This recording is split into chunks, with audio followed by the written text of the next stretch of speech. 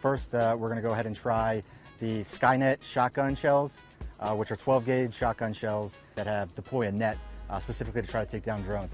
The Skynet shotgun shells are one of the simpler drone defense options available. Just $20 for three, and they can be fired from any traditional shotgun. The difference, of course, is the netting, which wraps around the drone's propellers to take it down. The Skynets were extremely effective. They're the cheapest out of all the solutions by far. That's a metal piece that went into that.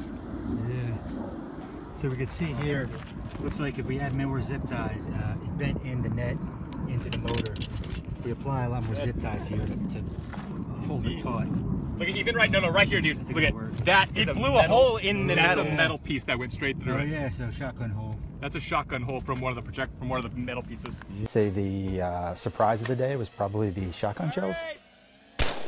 I expected that they would do well, but not nearly as well as they, they did. Uh, they were super effective and the cheapest out of all of the products that we tested today. But that doesn't mean they're meant for everyone.